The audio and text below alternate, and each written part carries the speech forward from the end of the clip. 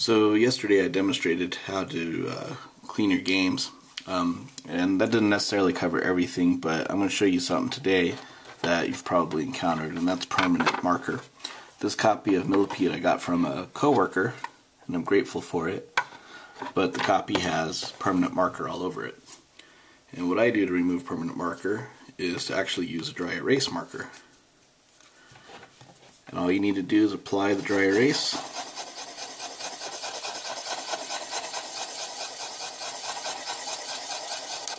just like that. Let it sit for a second or two. And it comes right up.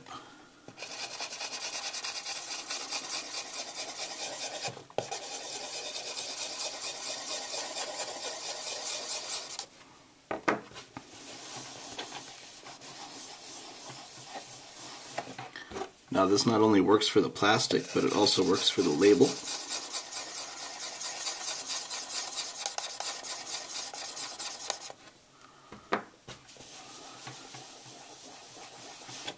So when you encounter games that somebody's written their name on or a price,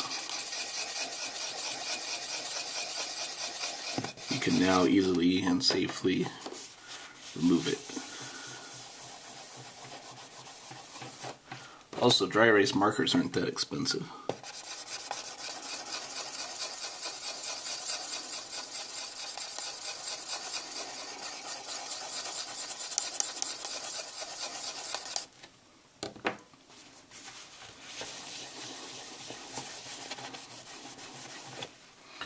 Not sure why it works, but it does.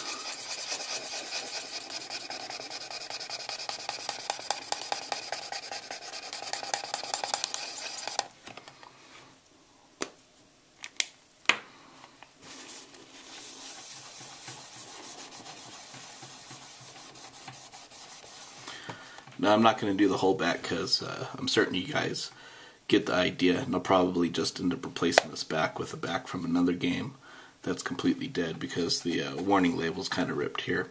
But that's basically how you do it. Dry erase marker, apply it, wipe it off. You do it long enough, eventually you'll get the original color back.